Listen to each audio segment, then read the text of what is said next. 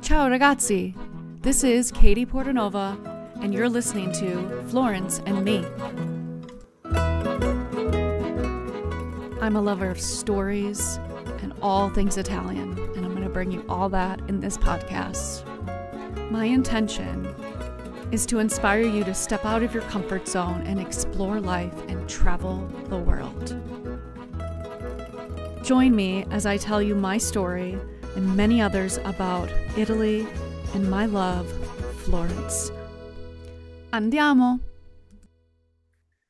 Buongiorno tutti! We are back for another episode of Florence and Me with my friend Giulia. Welcome back, Giulia. Hello. Thank you for having me as usual. Yes, I'm so glad you're here, especially on a tough day for for us as a family. My father-in-law um, passed away a year ago today.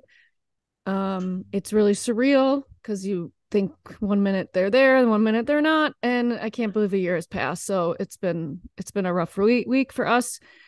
Um, the other thing before we jump into the episode, I want to point out um the deadline to sign up for our wine and relax retreat is March 12th and uh, there are six spots available. Um, I've got some information out on my website. You can look up all the stuff on my um, on my website. And if you have any questions about it, feel free to email me trulyitalytours at gmail.com. And if you want want to talk on the phone about it, we can talk about your options and stuff. Um, but it's going to be an amazing week. So just to book your spot you just need to give in uh put in your deposit and then we can go from there um but yeah girlfriends bring anybody group of people. So yes. And the commercials are done. Okay. We are today we're talking about the best dishes in italy to try or to just devour every single day in italy right? Yeah. I mean, I think that's a good start. um the um I mean, we're I we have no order, rhyme, or reason for which dishes we like, so we're kind of just gonna f- jump right in. Giulia, give me one of your dishes that if you if somebody from from outside of Italy is coming to visit, what's the first one you say you have to try? Um, well, I think I gave this a lot of thought, and I Mhm. even spoke to my husband a little bit about it because it's so difficult to pinpoint exactly which ones to try. And it, obviously, it depends on when you are there in Italy, you know, because a lot of the food is very seasonal, and many of the restaurants will be seasonal. Um, so I think if you're going to be in, in Florence, um, which most of the, the listeners here are probably going to be visiting, I would definitely say that pappardelle alla cinghiale is Mm. one of the things to definitely try. So it's a um, type of pasta dish, and pappardelle are a lot like tagliatelle, they're just a lot wider. Mm-hmm. Mm. Um, I think they're like, I actually can't remember the size, but they're quite thick. And the sauce that the meat sauce that's made with cinghiale, which is wild boar, is unlike any other meat sauce that you'll ever have in your life. And you're not you're not really going to be able to get to try that anywhere else in the world. Mm-hmm. Uh, and it has story. Um, with every it's something my husband said with every dish in Italy, there is a story behind it. And you know, every family's got an arsenal of recipes that they absolutely live by and abide by. And I think that, you know, pappardelle is one of them. It's something that is very rarely made machine wise. It's something that's mostly handmade.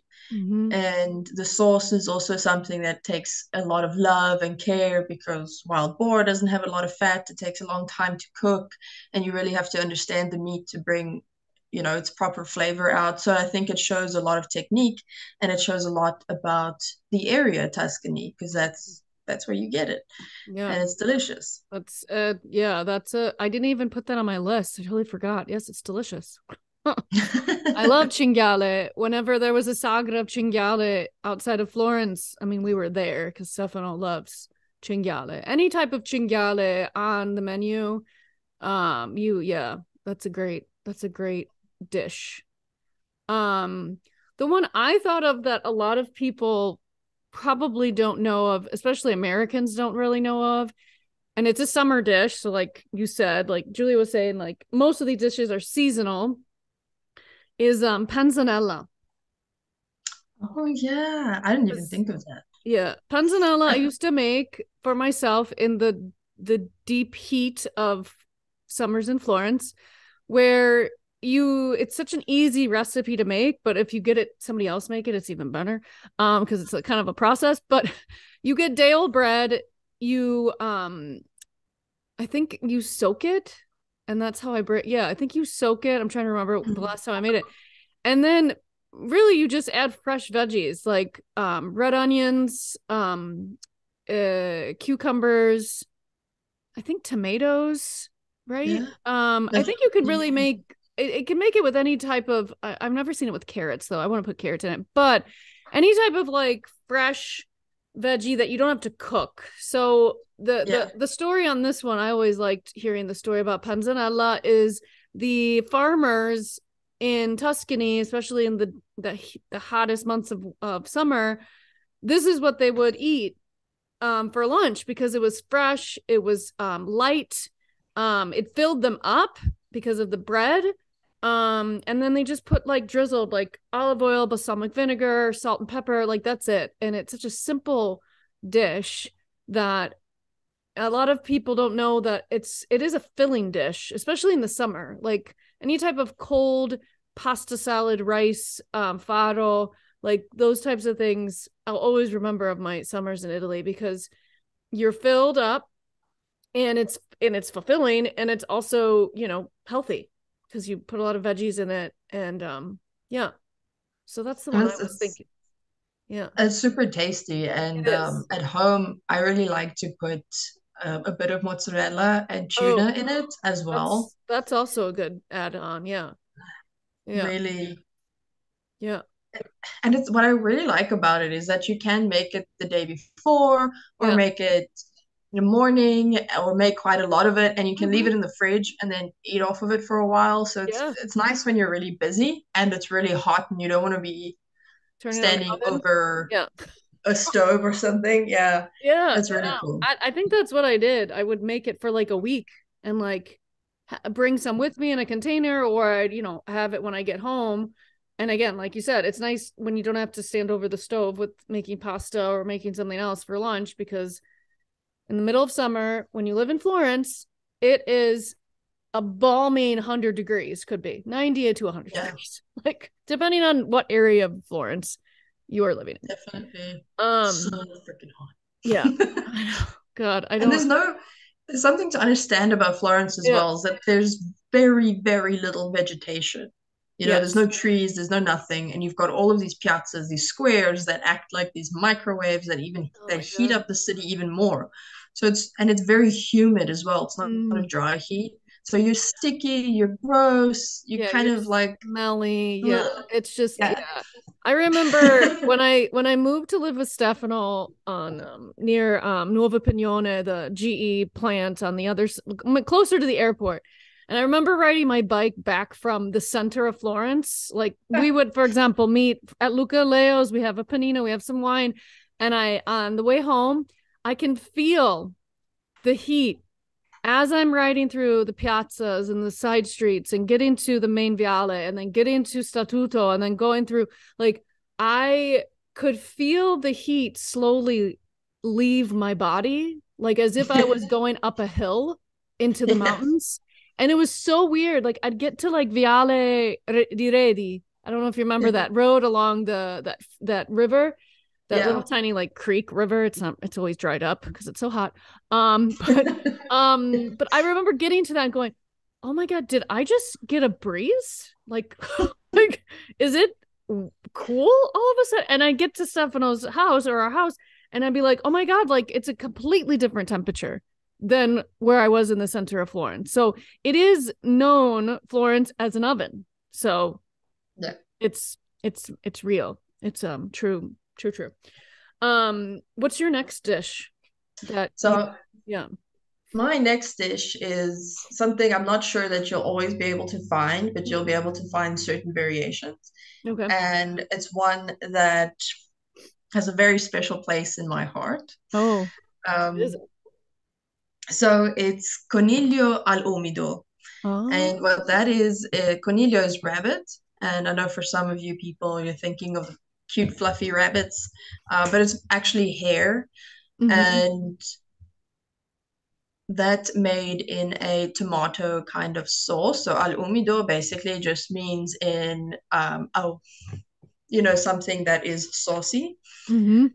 And uh, many places will also make a roast rabbit Mhm. kind of version as well, and that is also very, very delicious. But the reason why it's in the sauce, why I love that, and you know, it's got the black olives, you've got the capers, you've got you've got all of those strong, salty, very Tuscan kind of flavors Mm. that I absolutely love. And the reason it's close to my heart is because my grandmother made it Oh. uh, as I was growing up, and she would always serve it with polenta.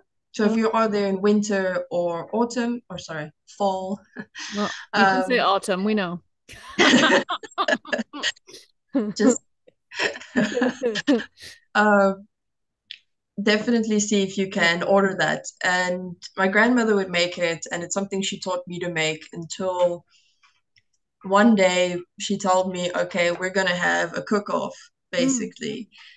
And we both made the dish and invited friends and family over, and people tried it and, and got to, you know, pick whose was whose. Mm. and no one could tell the difference between our food. And she actually told me that night that mine was better. Oh. And it was kind of like a, you know, you've you've surpassed the master kind of moment. And she finally recognized that I was a cook of my own my own doing, my own making, and I no longer had anything to learn from her. And ever since then, uh, I just I felt like I accomplished something Yeah. amazing. And the dish itself, why I would suggest to people to try it is because it's not easy to make, Mm. and you really have to understand rabbit. hmm You have to understand the meat and how to prepare it properly, and it takes many, many hours, even days, to make a really good one. Mm. And you don't need a lot of it to be filled up, and it just goes really well with polenta. Yeah. It's it's so tasty and it's reminiscent of the time when people used to go hunting, and people still do go hunting, but back in the day, especially my grandparents, you know, our grandparents' time, Mhm. there was a lot more hunting, and it's very reminiscent of that cacciatore kind of sauces, you know, so the the hunter's sauce, and it's something that they would have made for themselves when they went hunting, or people who used to raise rabbits, which is what my um, grandmother comes from. Her family is of, you know, the peasants of Tuscany kind of thing, and her father used to go hunting, and they used to raise rabbits and pigs and all sorts of things, and um, it was fascinating to hear those stories growing up, and then finally being able to perfect this dish. Mhm. And I can guarantee you, no matter where you go in Tuscany, you will find someone who's got that dish and will have a story just like this one for you. Yeah. And um, food always tastes better with a story, in my opinion. does. It does. And I and I can say I've had that. I believe I have had that. I don't remember exactly when I had Cornelio uh, Umido, but I I always I always when I first started going to Italy and there were things that I was like I've never thought I would have this like rabbit or cow's tongue or um octopus like you know things Yeah. that are different um cow's brain because Stefano loves cow's brain um cervello. And so when I I believe it was one of those times when I'm just like okay I gotta try it. I just have to try it. I don't have to put a judgment on it. Yes we think of like fluffy rabbits when we think Cornelio but these rabbits are like you said hares. So it's not like you know it's not like the rabbit you see in the pet store. So um or you know around here where i live because they're everywhere um but yeah no i agree. I think though that is a great dish to try and especially when there's a story along with it which i've told a few stories on this podcast about dishes that i will never forget just because of who was around me what was um going on in my life. I just remember um that. Um the dish i was going to say next which since we're going towards meat a little bit i know we're going to go back Yeah. to pasta because pasta's pasta's life um um the bistecca de alla fiorentina. That's Oh, one I- yeah. so this one is um i know we both had it but it's a very Oh, yeah. particular type of meat where you americans don't like it as much because of the fact that it's can be um served quite rare and they don't like it. And and and it because they think it's like i don't know Is it not Like common that. to have rare steak? no no no America? it's like medium medium well and you know sometimes people want it well done which is basically burnt um but like but not like the steak i'm saying but in general with meat but when they see like a red type of meat because uh, the bistecchina the fiorentina is a thick piece of it's a porterhouse steak for those of you that don't know like a t-bone steak. There's a bone in the middle. And there's there's certain parts of the meat where it's it's very very tender when you cook it in a certain way. Like Mm. Stefano I forgot what he said. It's like 2 minutes on one side 3 minutes on the other 2 minutes and then it's done. Yeah. and you and and all you do is is put um olive oil salt and pepper. That's all you need. In such a simple meat dish expensive can be um but it's so good and i never thought i would like such a rare meat because we're like taught not to eat red bread meat in the Oh. states and i don't know where that has come from if it was from like a uh you know if a meat if the red if it's red meaning that it's bad or it's not you know there's diseases? I don't know. I don't know where it came from. But when i moved to italy and when i started eating more meat and rare meat, like with red and al sangue is what they say with blood which is probably not the best thing for an american to hear. Um it's it's so good and it's so tender and all you need is that olive oil really good olive oil salt and pepper and you're done. And like a sa- side salad maybe you have some potatoes on the side. Um but it is definitely a go-to if you've never had a real florentine steak. There's plenty of places in florence um, that serve it. I believe the one that's still the best which you probably know too is Perseus off of piazza Mhm. libertà. Um but it I, it could have changed. There's so many new restaurants in florence so That's I'm sure there's other there's others that have a really good um meat. Um so yeah, that's the one I was thinking of because you know, Americans for sure don't try that stuff. Yeah. I would say definitely do try it, and it will change your it will change your world for Yeah. sure. Yeah. Um, one of my favorite things to do is when eating it is taking some bread Mm, and then dipping it on the the meat juice with the olive oil mixed with the salt, and then yeah.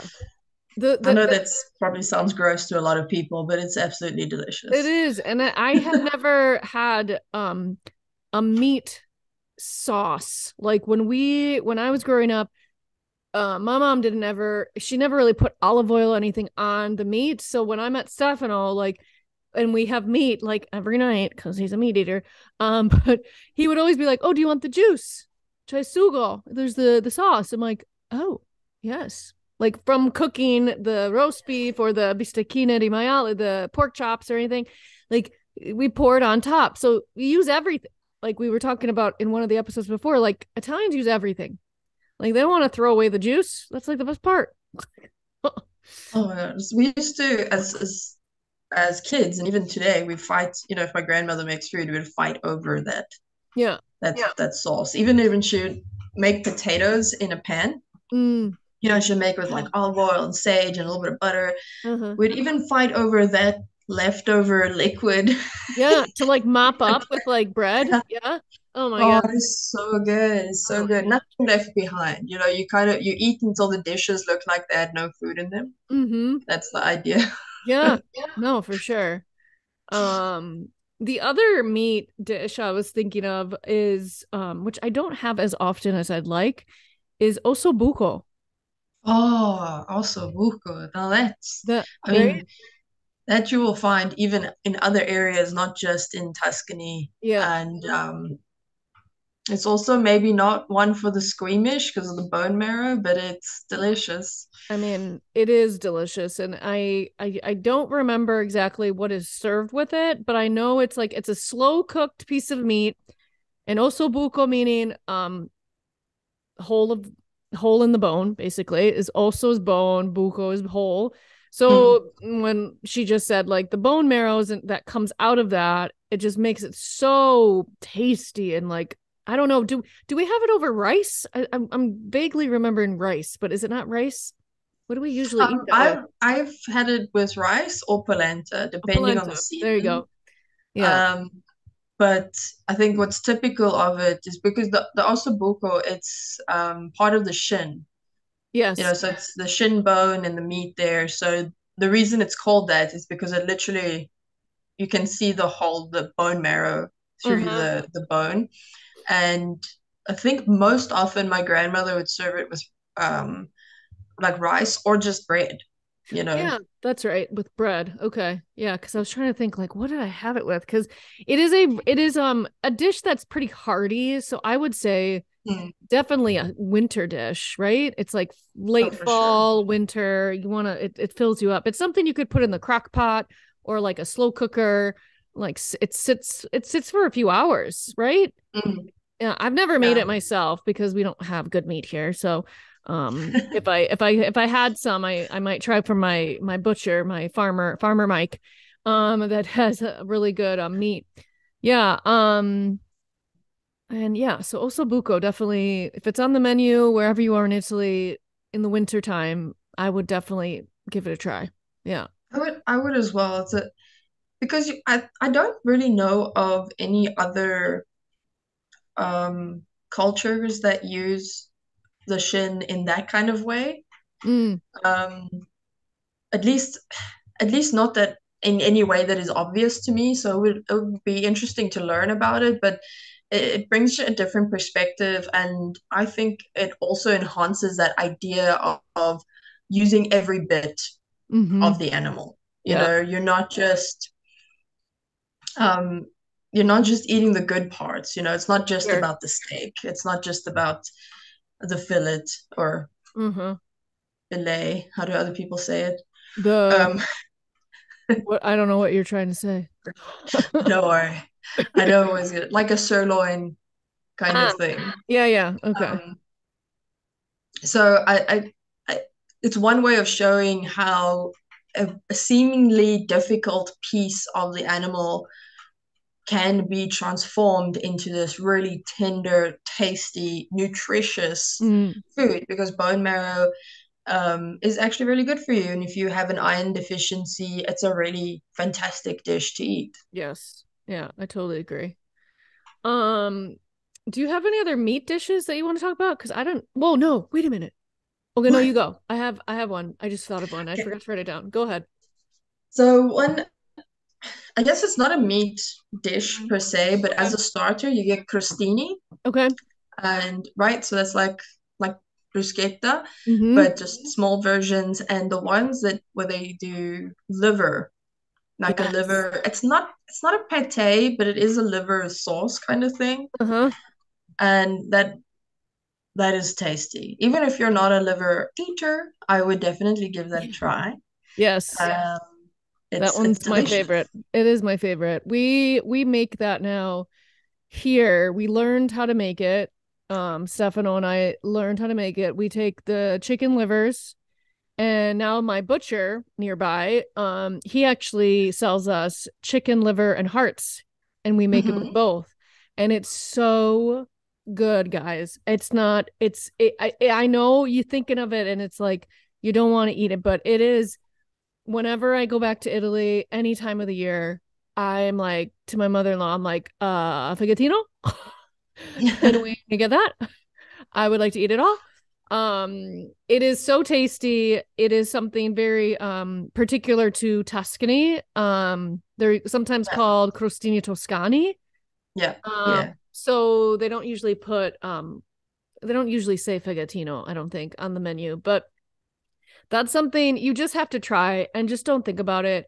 I had my parents try it. Um, they eat it, but they can't get out of their mind that it's liver, and I'm like, okay, it's fine. I'll eat the rest. don't worry. don't worry, it will not go to waste.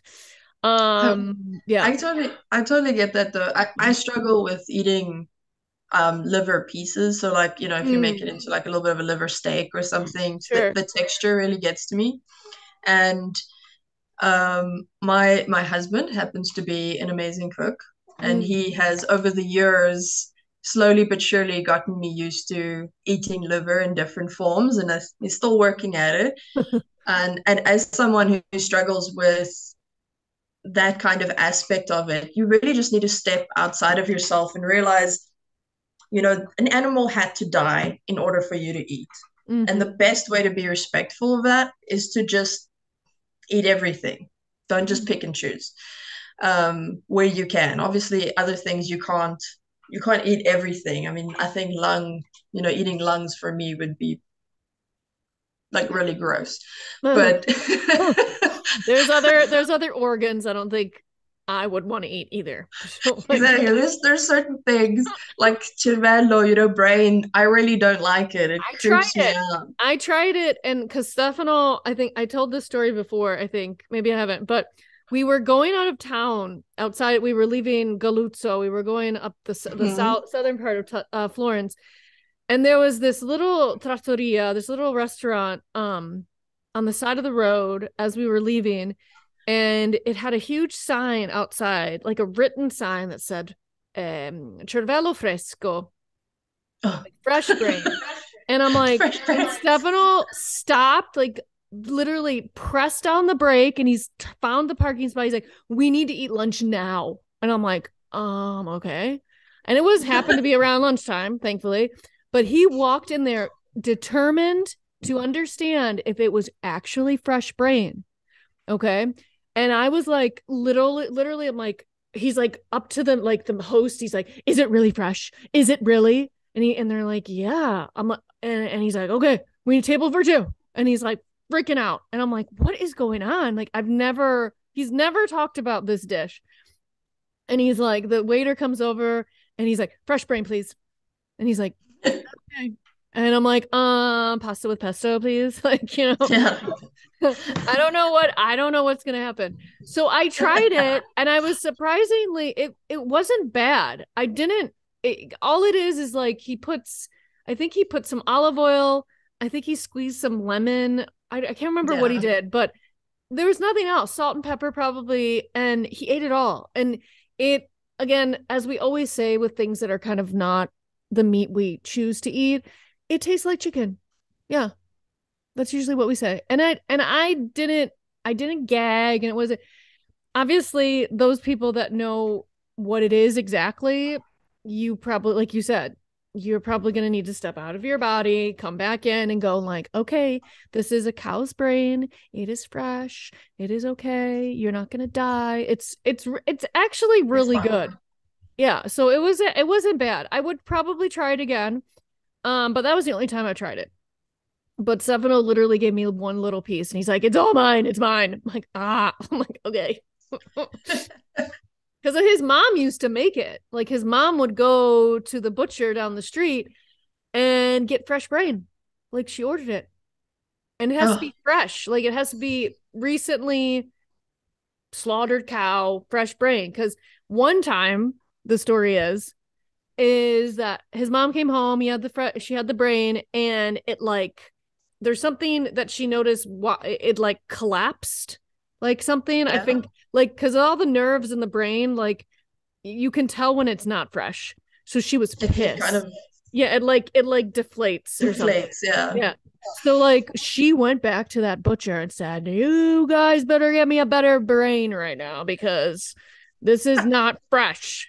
Obviously, I never met her, so I imagine she was angrier because apparently it was a delicacy in their household. So So yeah. So brain, take it or leave it if you want to try it. Agreed. Um, there's there's that's exactly it. It's it's some things, you know, you grow up learning like not to eat that or you just grossed out by it because things look weird. Yeah. Um, and even myself, I would I would probably try it. It's you know, even if I've had something before, I would try it in different circumstances because your your taste changes as you get older, and sometimes if it's prepared in a different way, you react to it differently. Oh, you yeah. know, like let's take broccoli for example or Yeah. cabbage. If someone just boils it for half an hour and then gives it to you, it's disgusting. But Yeah. you lightly fry it, you know, a bit of salt, a bit of lemon juice, it's delicious. Yeah. It's amazing. Totally. So agreed. But at the same time, brains, it's, it's difficult. It's difficult for me to take it seriously, Yeah. being uh, someone who watches a lot of, you know, like zombie movies. I'm just like, oh, fresh brain. like yeah that's that that definitely would not be um ideal yes No. let's let's But- let's let's move on from brain because we can go Okay. on probably Enough brains. We won't go to any other um body parts yet or organs yet but um the the one that i was thinking of that i absolutely love and i and there's certain places probably that do it better but i can't i remember eating this all the time when i was living in florence um tagliata di manzo Oh yeah. with um arugula on top with a little bit of shaved parmesan pa- parmigiano so good. And it's simple again simple. They ta- they tagliata means uh to cut. So like uh they're very thinly sliced pieces of meat that are a little rare so it is red meat. Um and you just drizzle olive oil salt and pepper and it's so good and of course you always get a side of potatoes with it it's usually potatoes or you can get a vegetable other type of vegetable but I always that that was like my go-to night dish. If I went out to dinner with a friend, I remember always going out with my friend Simone from Joshua Tree, and we'd go to a place around the corner, and that's what I would always get because it was always delicious because it was a little hole in the wall type of restaurant. Um, but yeah, that one for sure you got to try. And even if you don't like for arugula, sure. just push it to the side. It's still there's something about having that like sour bitter um arugula with the the salty parmigiano and then the olive oil with the meat. Oh my god, it's just like a perfect mix of loveliness in your mouth. It is so good. So That's true. so good. Yeah. Um yeah, so that was the one I was thinking of. Oh, that was very tasty. And that was you said it's it's so hard going down this road because it's just like there's so many dishes that I think of. I'm like, I want to eat them now. I know right now I'm getting hungry, even though it's only 10:30 here. Um, but like I'm like, oh gosh, I'm hungry. Um, what other one? Oh, um, so I have some desserts on my list, but um, I thought we'd go back to like pasta. So Oh, pasta. when you go to Rome, you must try cacio pepe. Yes, I was gonna bring cacio pepe up as well. Okay, good, Um, good, good. You can get it anywhere, I feel like. Can you get it in the north? Is it any in the restaurants where you are Uh, or no? yeah, you could get it in most places, but you'll Yeah. you'll find it like carbonara and cacio pepe. You'll find more Rome side. Yes. Oh, Um, carbonara was the other one on my list. I love it. Oh my God. Yeah, carbonara is. I I think carbonara is amazing, but I'm more of a cacio e pepe kind of person. Okay. Um, and the reason I thought of that dish is because it was one outside of my family that I discovered on my own. Okay. And there's always something exciting about discovering a dish that nobody you know knows about. You Uh-huh. know, it's Yeah. just like what what is there to expect and learning to make it as well, even though it's simple. You know, you've got your hard Mhm. cheese, so it's usually pecorino Mm-hmm. and uh, butter, pasta water, and pepper, like with salt. So have you have you perfected it? Because we've tried to make it and it's not, it's like it either is too peppery or I don't know, but you might have to send me that recipe because just how you make it. Um, I'll definitely go through it with you, but it's one of those dishes where Yeah. you kind of have to get to a point where it clicks when you're making it. It's Okay. so difficult to actually follow a recipe because It it's more technique than We've- anything else. We've tried so many and like we haven't found one we really like. The same thing with carbonara. Stefano Yes. finally found the right the right amount of like eggs and then the the right bacon we're gonna use or the pancetta. Um, like it, it was a few times. Like we tried to figure out. He did it with the twirly, like the egg yolks, just that, and then th- there's like that. Those two are very. Um, it's like a learn. You have to learn how to trial and error trial and error on those. Because not like you know aglio and peperoncino which is very very easy to make. Um but those you have to there's like different types of consistency different types of um maybe cheese like i don't know. But like those two are a tough um tough pasta dishes to uh or the sauces to kind of make it right for you because you you could like it a different way yeah Oh, exactly that. And I mean, just getting it so that it be- kind of emulsifies properly is really is really not easy. Mhm. Um, but it is a fantastic dish to try, Mhm. and I would suggest going to a restaurant that is known for cacio e pepe or known for carbonara. Don't don't just go to an, like anywhere and Yeah. get it. Go to a place that's known for making it yeah because it, it it's seemingly something that won't fill you up. You know, when you look at it, you're like, oh, there's like nothing on the plate. But then Yeah. you eat it and you realize how full you are. Oh my god. Yes. Especially carbonara. Carbonara definitely fills me up nice and toasty. Like nice. My belly's nice and warm. But um yeah, no, I agree. I think because a lot of the tourist places in Rome for those particular dishes, Mm. it's always on the menu. But if you look it up on online or research like a restaurant that's known for it, yeah, I would definitely sign up and go to that restaurant. So better part, just go and try it in Italy before you try to make it, obviously. And then you fall in love with it, and then you want to make it all the time. That's usually how it goes. Um, so yeah, so cacio e pepe I said, and the carbonara was on my list. Okay, so as much as we we'll, we'll go to another type of not kind of a squirmy type of dish because Mhm. not a lot of Americans like shellfish. Okay. So they, Okay. you have to try if you're in Italy on the seaside, mostly on the seaside, is spaghetti alle vongole or spaghetti di frutti di mare with scallops and and mussels and cozze. Uh, mm, you will not. You you will come back to me years later and say, "Thank you, God, for telling me about this." Because as much as if you are not if you live in the midwest like i do in the middle of the states where there is no seaside ever anywhere near us and you try like spaghetti alle vongole or the mussels okay you can get it in the middle of the states but it's totally different when you go to the seaside in, in italy Yeah, there's a different taste they make it differently it's just to die for and i and i probably talked about this before but when i we went to puglia in 2019 every single day Mm. Giulia every single day i had mussels with with pasta by themselves i had huge gamberoni i had huge shrimp every single day on the seaside it was the most amazing trip it was so and I wasn't like overly full because fish, obviously, Mhm. as you know, is not it doesn't fill you up like pasta or bread and like all the time. Yeah.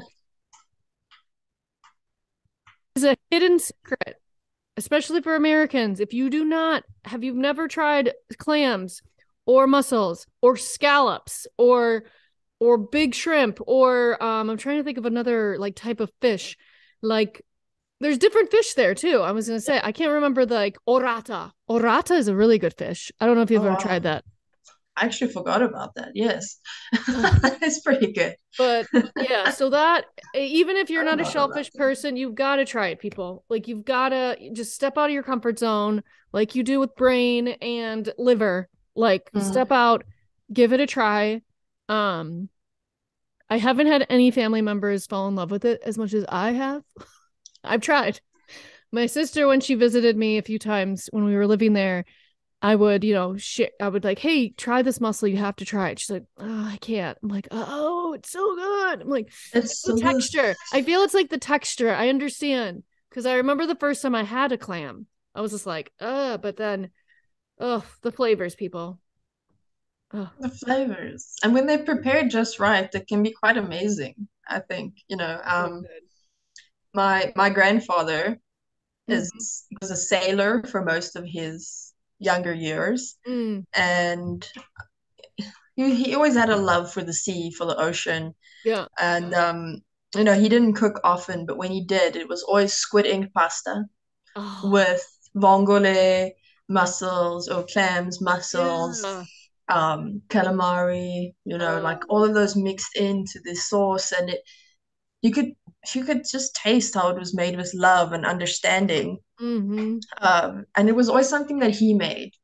You know, nobody else made it in the house, Yeah. and it was a treat. It was like Oh yeah. exciting. Oh. Um, definitely, I would definitely try it because there are very few things like, you know, sitting at a restaurant, looking out onto the Mediterranean, Ugh. sun I, setting, I'm I'm there now. I'm closing my eyes. There now. right? Because we're in the middle of winter here. So cold. We haven't seen the sun in like three weeks. Ugh. So like ugh. Um, anyway, back to food. Um, do you have any other fish? Like I, I didn't think of any other specific fish or I didn't think of a specific like fish one. yeah. You saying hello, Sadie? Hello. Oh, her kitty just said hi to me.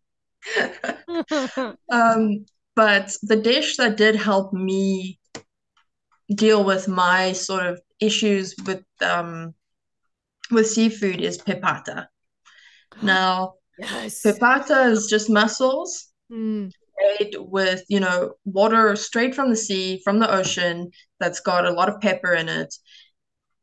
And you eat it with bread. There's Mhm. sometimes there's a bit of white wine in there too. yes, It best. takes maybe at most seven minutes to cook, and it's delicious. Oh, It is delicious. That fresh bread with the mussels and that peppery sauce, and there's just this intense connection with your food, where it comes from, where you Mm. are, because you've got the saltiness in what you're eating and the saltiness in the air, and everything's just this yeah. amazing moment. And nothing else really matters when you eat that dish. Oh, You are you are there, you're in the zone, yeah. and I that's it. barely I barely breathe when I ate a pipasa de, de cozze, like cozze, whatever it's called. But I, me and Stefano would fight for those. Like, well, is there a muscle there? No, no, no. I'm like, just you know, it's just like I I can't stop eating them. And now like it's so hard to find like a place around here that has a good hefty size of cozze of mussels because it just it, I, that you got to go to the seaside. You got to go seaside. You got to find it. You got to eat it all with the bread, with the olive oil, with the olive oil, with the white wine inside. Ugh. Oh my god, that's all I want right now. Right? It Oh my god, it is so delicious so and good, people. Mm, it, it it's almost even though it's such a simple dish and it's a dish that people have made because they live close to the ocean and it's easy to make because Yeah. it's ingredients that they had available, uh huh. there is a guilty pleasure when eating it. You know, and I think that's true for a lot of Italian dishes, even though much of it's like peasant food.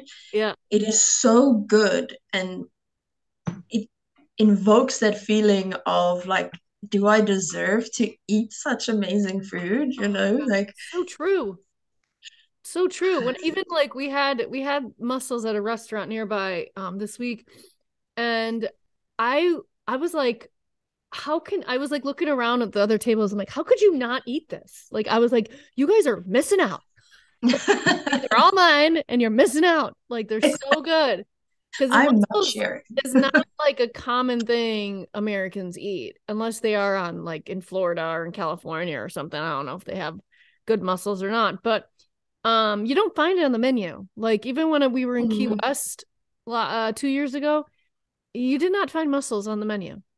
Cuz it's not a it's not a I don't think it's a Gulf like Gulf of Mexico ocean, Pacific Ocean type of dish.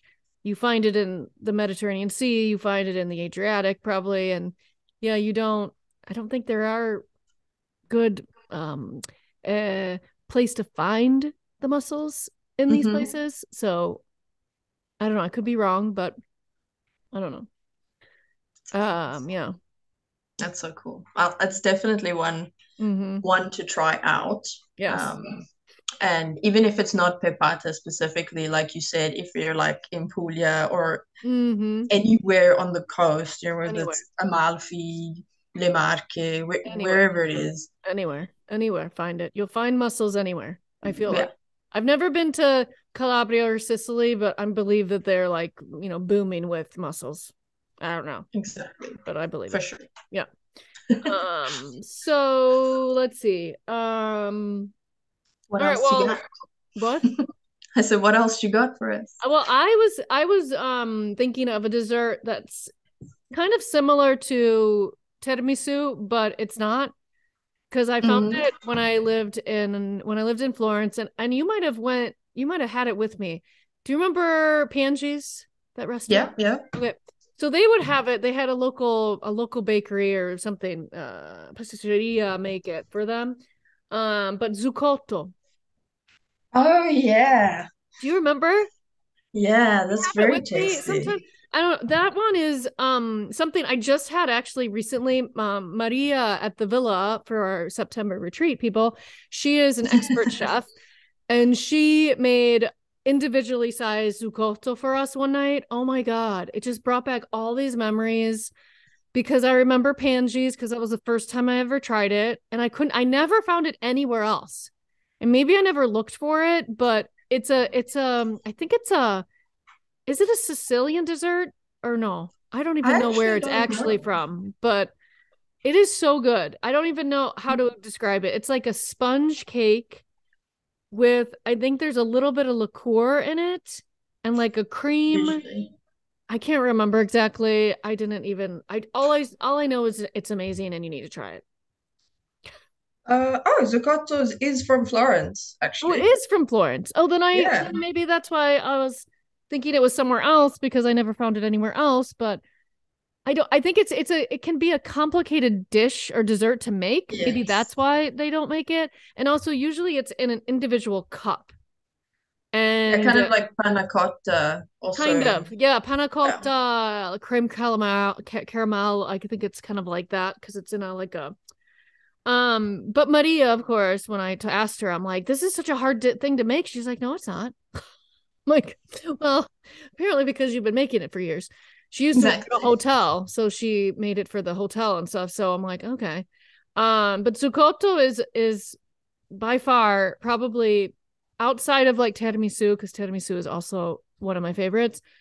Um, zuccotto is uh, uh is probably like first with a close second of tiramisu.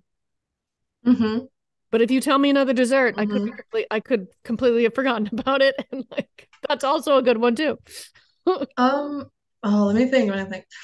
I, strangely enough, tiramisu, because my my grandmother, she makes it without the mascarpone and instead Uh. makes a, a crema, a type of custard that she Okay. puts in instead of the mascarpone. And so I, traditional tiramisu, I find difficult to eat.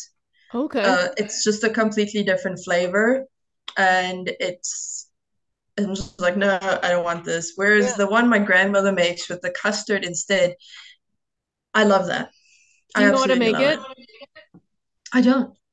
oh, She never um she never taught me. So I'm probably gonna have to get on the phone with her at some point in the week and be like, okay, now I need Tell this me now. Tell me how to make it. Tell me how to make it. Yeah. Uh, um yeah, Stefano Stefano made tiramisu the first time for us for Christmas. Like ooh, we just he he um yeah, he's awesome at making like desserts. He makes his own kind of cream where he just learned I don't know if he learned from his mother or his friend Marco who's really good at making creme brulee. mhm. Um, but he just whips it up every so often. And sometimes he mixes like Nutella in or something like some sort of chocolate powder, Nesquik or something. I don't know. But um, but yeah, eh, yeah, tiramisu. It, it's a memory for you. Yeah, that that your grandmother made it with custard. So I understand that. And um, I'm just looking. Oh, maybe the sun might be coming out. Um, um, I'm trying to think of any. uh, I mean, in Italy, there's always like a chocolate cake on the menu or A baked profiteroles, like Yeah. Profiteroles, which is like the cream puff balls with chocolate drizzled on top. Beignet, which is a French thing, but it's the same type Oh. of thing. You can mom find that. them. Yeah, you can find them in. Um, I think you can. You definitely find them as a dessert. I've seen them at, as a dessert in Italy, but also you find them at a pasticceria, at a pastry shop, Mhm. um, which is also delicious. Um, but and then oh, the always famous one on a really hot night in Florence is stopping by your local gelateria, Oh, for sure. and that's like there's certain gelateria in Florence that make it better than others. But for the most part, you're gonna be okay. yeah, for the most part, you're fine. Just try whatever. I always pers- my favorite is bacio Ah, and That one is something with Nutella. Like if it's a Nutella blend, I always love it with Nutella. And I don't know, for me, like I used to I always I tried all of them, like with um like fruit and stuff. Like there's the Mhm. fragola, there's um uh what's the other fruit? Melone, melon, strawberry. There's a bunch of different fruit ones, but I I don't know. I always think cho- okay, you're having gelato and it's a dessert. Chocolate's got to be there somewhere. So I always need to have chocolate with it. Uh, because then I just feel bad for not getting the Nutella one or the Bacio. I'm just like, oh, I just got the I got like the healthy quote unquote gelato with with melon or strawberries or I mean they're all delicious. My our best friend's mother, her her mom and dad used to run a gelateria outside of Florence in Incisa, a ton of Incisa. Mhm. And then during the pandemic they had to close and everything. So she her mom made like the best gelato. I because it's a it's an it's a craft making It gelato. is. So um but again, when you go to this any city any place, gelato is good everywhere. So you It gotta try it. You gotta try it. It's a Um, different it's different than the American ice cream and probably ice cream in South Africa as well. For sure.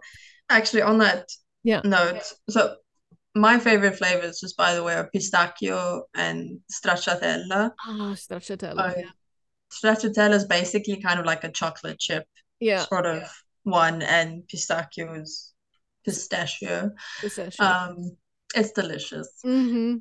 But fun fact, do you know what the difference is between ice cream and Italian ice cream, gelato? No, I do not. So normal ice cream, by, by normal I mean for other countries, that- that's not Italy, Uh-huh. it is quite literally cream that has been worked and then iced. So ice cream. Uh-huh. And then, you know, it's flavored cream that's been iced. And gelato is made with egg yolks.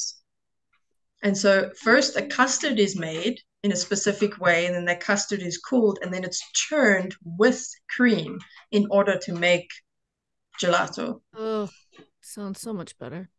It's so it's actually a um it's a very interesting thing to thing that people have to do. And at some point in the 1800s, Italians moved to England and gave everyone salmonella because they used bad Oh. yolks. Oh, I did not know this. I thought it was a really funny story. I'm like, of course, Italy. Of Uh, course. oh my god. That's hilarious. Oh, I did not know that story at all. Um, oh, but uh yeah. So do you have any other dishes that people should try when they visit Mm. Italy? I'm I do have one, and this is not one that I that is necessarily my story, but it's something I'd like to share because of Mm. how much my husband loves it. okay. And he got to eat it at my grandparents' place when he was staying there um, before moving to Italy to join me here. So it's his own personal, um, like special story with my grandparents, and it's with nettles. So ravioli. Uh, Ravioli, the word itself actually just means dumpling, so it's any filled pasta. okay. And they would always have nettles in the garden, and so they prepared uh, ravioli with a filling of nettles and cheese, which would typically be like ricotta or Mm. some kind of soft cheese like that. And they made it for him. And he describes it as being a very delicate flavor that can be paired with quite a lot of different sauces, and it's a must. So if you do go to a restaurant in Italy and they happen to have nettle ravioli, give it a try. Uh, What's it you'll be called in Italy? In, in in Italian, nettles. Nettle, oh God.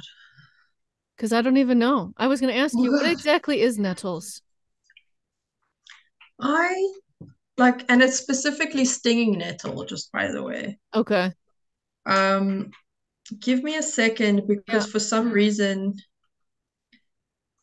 oh, I know it's like was an O or something. Because I've never. I now I want to know what that is. Now I want to try it because I've never had it. Um, Or- Ortica. ortica. Yeah. Oh, nettles is a plant. Yes. It's like a leaf. Oh. Okay. Yeah, I've never, I've actually never had that. Is that something particular to Lucca? The nettles or no? Nettles grow throughout Italy, um, and actually throughout Europe. So you'll even find in uh, like England, you know, they also have nettles Yeah, I've heard of it in growing there. England. Yeah, So every single country has a different way of of making it. yeah. And what I, from what I understand from uh, my grandmother when we chatted Mhm. about it sometime some months ago, she said that it's it's just something that people would make because you know they would go hunting. Like her father was a hunter, so she would go with and then happen to be there and then forage the nettles and make something from it. Okay. So I think you can find it throughout, Uh-huh. but because stinging nettles are not considered necessarily a sellable item, you know, it's not like I don't know, other filling, you know, like meat fillings. It doesn't have the same kind of pizzazz for people. Uh-huh. Um, but it's something that I think a lot of Tuscans, a lot of older Tuscans are very familiar with. Okay. And uh, it's also apparently very nutritious. Oh. Nettles apparently got quite a few vitamins and minerals in them. Okay. So I did not know that. Give it a try. I, have you seen it on menus in in Italy? I've seen it in one or two places, more like osterias, so places Okay. that tend to specialize in dishes. Okay. Um, but if you do have the chance of going to someone's house and they make it for you, Yeah, that would that would also be awesome. Um, if we ever open up a cafe one day, maybe we'll add it to the menu. Yeah. Because I've never had that. Now I'm I'm wondering what it actually tastes like. I I don't remember having it as an adult, whereas Ah. for my um you know for my husband they made the dish and it obviously stood out. Yeah. And I'm trying to recall having eaten this. And my grandmother's made me so many different types of dishes. Um, and some she just didn't make as as often as others. And I really cannot recall if I have eaten it, Uh-huh. but I do know that you know I had eaten kale for most of my life, and she always told me that it was cabbage. Uh-huh. And the translation was bad, and I didn't know it was kale. And then, you know, kale became like a popular food. Yes. And I was like, oh, what the hell is kale? Only to discover that You've been eating it for years. So who knows what else I've been eating without knowing. It's been in your stable diet for years. well, the funny thing with kale, so to trick Stefano, I used to call it just spinach. Oh, just spinach. Just eat it. It's fine. Because he didn't like the taste of kale. But now he loves it. Like now, Ah, I, you know, I mix it with like a sauce or something for a pasta dish, and he's just like, "Oh, okay." And sometimes if I have the kale in the in the crisper, and like Mhm. he he's like he's making the the dish for lunch, and he just takes it out and he makes it. He's not with me like saying, "You can you put the kale in there because we need to use it." So obviously he likes it. Otherwise, Exactly. like, why is he putting it in there? If you Um, do have if you do have like pancetta or bacon yeah, with the kale, really. um, delicious. oh, we do have that. Delicious. Oh, maybe we're having that for lunch today. Maybe. I don't know. Um okay, well, I think uh we've given our audience a pretty good list of dishes to try. A mouthful. Um a mouth yeah, a mouthful, exactly.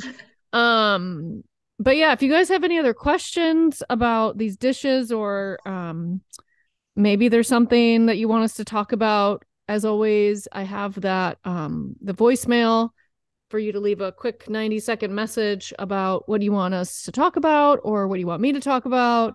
If it's living in Italy, traveling to Italy, um, something about northern Italy, because now that Giulia's becoming an expert of foraging and stuff like that, if you're interested in that, um, yeah, let us know. Um, as always, um, you can join my email list where you can get up to date information about my travel retreats, my um uh, my wine excursions eventually that will be a thing and um and if you wanted to purchase wine from me which is something i'm slowly getting into with these four vineyards and Mhm. surprisingly enough i'm getting random like follows by vineyards near like where um in Montefioralle and like tuscany and chianti that they're like, oh, you know, we can feel it.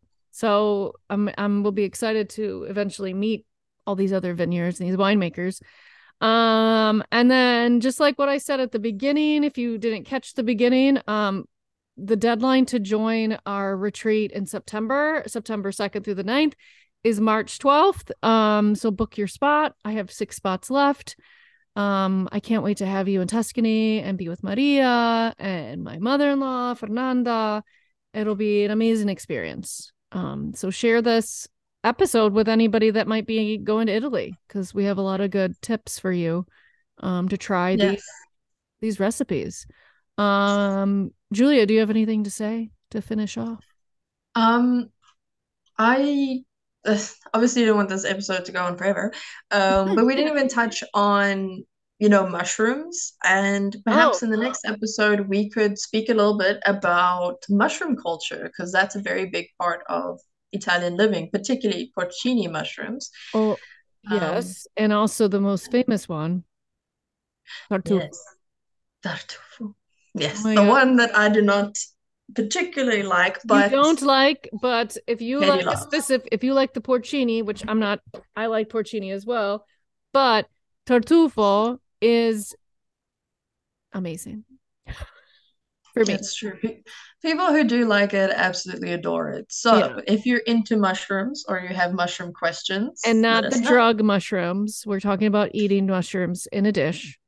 Let's be clear. Let's be clear. yeah. Not hallucinating mushrooms. mushrooms or You'll have to go to a different podcast Yeah, that. there's probably another one out there for those types of mushrooms. Um, but yeah, allora, buongiorno, buonasera, wherever you are, or buonanotte. I'll say that again. Buongiorno, buonasera, buonanotte, wherever you are. and thanks for listening to this amazing podcast. Thank you, Giulia. A presto. Ci si vede. Alla prossima. I am beyond grateful for you listening to my podcast right now.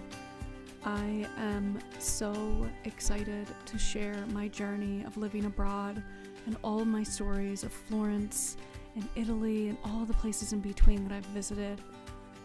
If this has reached you in any way and you would like to continue, please subscribe now. Also, go check out my website, trulyitaly.tours, for all my travel experiences. Ci si vede. Ciao.